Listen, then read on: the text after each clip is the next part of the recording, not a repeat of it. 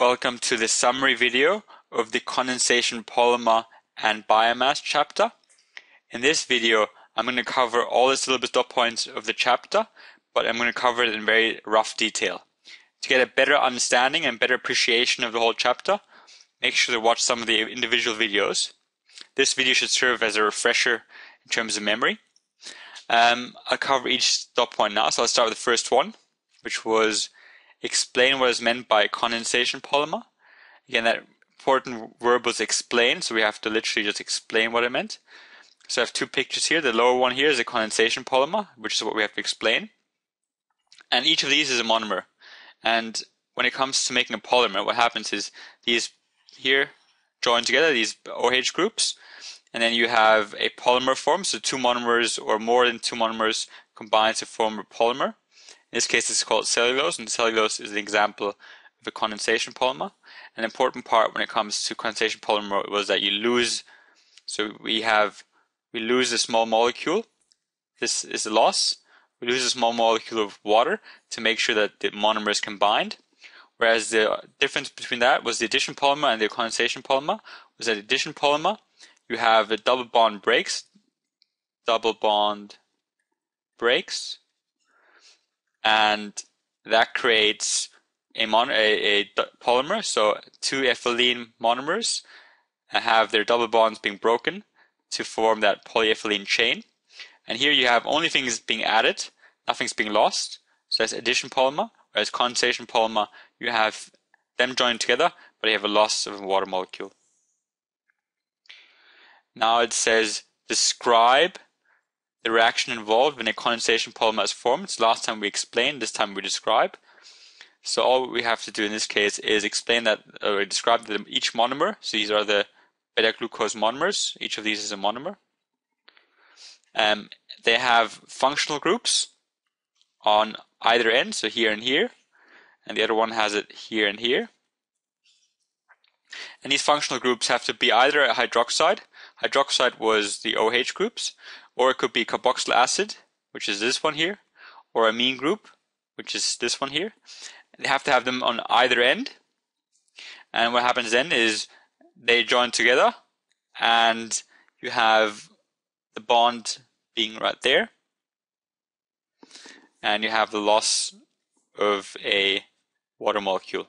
It's very similar to explain, but just slightly different. So function groups that allow condensation reactions to occur on both ends of the monomer.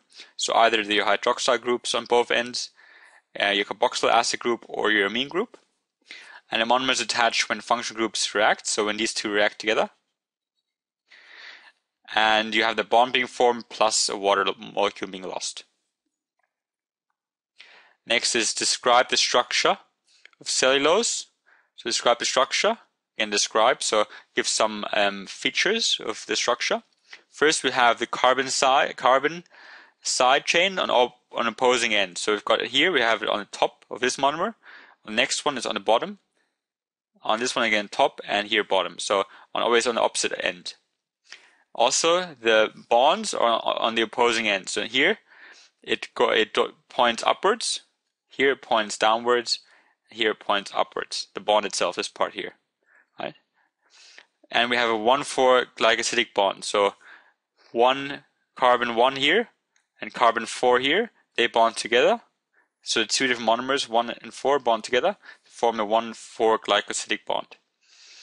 And also we have each of these is a cellulose polymer and they come in sheets.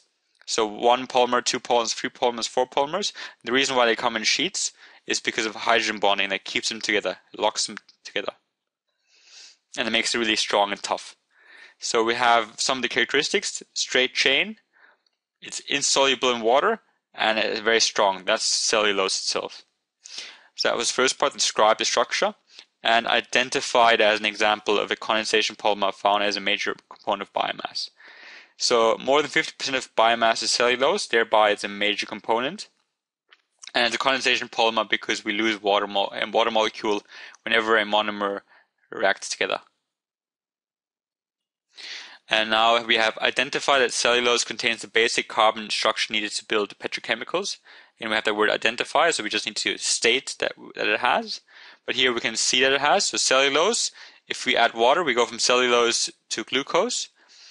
If we use a yeast, we, we ferment it and we go from glucose to ethanol. With ethanol, we can produce solvents and fuel. And we can also dehydrate ethanol to make ethylene. And with ethylene, we can make plastics, uh, PVC and polystyrene and polyvinyl chloride and other chemicals. So here we can just see that cellulose has the basic carbon structure to allow us to make these here, the petrochemicals. But it also has another part and discuss discuss its potential as a raw material. So we have to give pros and cons. So the pros or the advantages is that it's renewable and it produces less pollution. And the disadvantages are that it takes up farming land and has a higher production cost as well. Now we have we've got another discuss. Discuss the need for alternative sources of the compounds presently obtained from the petrochemical industry. Again, that word discuss. So these are the reasons why we need to have different um, sources. First of all, we have a finite supply of petroleum. Finite means it will run out eventually. Our Australian reserves of petroleum of oil will run out in 10 years. For the rest of the world, it'll be in roughly 50 years. So another reason why we need to get rid of um, find an alternative source for petrochemicals is because petrochemicals that are made from petroleum take thousands of years to decay, and that means we're going to have lots of plastic lying around. And the third reason was that if you burn pet- petrol for cars, for example, that produces lots of carbon dioxide, and that means more pollution. Right? So these three reasons were the discussed reasons why we need to have an alternative source, such as biomass, for production of petrochemicals. And this one here, we've got analyze, so that is a pretty big verb. Analyze progress in the recent development and use of a name biopolymer. So name biopolymer, we had uh, PLA or polylactic acid, but you could have chosen a different one as well.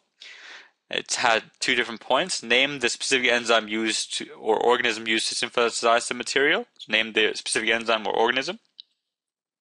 We had, when we have cornstarch and we um, hydrolyze it to glucose, we can go from glucose to lactic acid to monomer using the lactobacillus bacteria. So that was A, that was the specific organism, or the rhizopus fungi. Either or can help us go from um, glucose to lactic acid, and then we polymerize, so we make polymers to make polylactic acid. That was A. And B, provide an evaluation, evaluation, that's a verb, of the use or potential use of the polymer produced related to its properties. So we have to talk about how we can uh, use this product and how useful it is. So first we go for the properties. It has high tensile strength, which allows us to make rigid plastic containers, so such as strong plastic containers. It has high flexibility and moldability, so we can make plastic bags and garbage bags using that kind of property.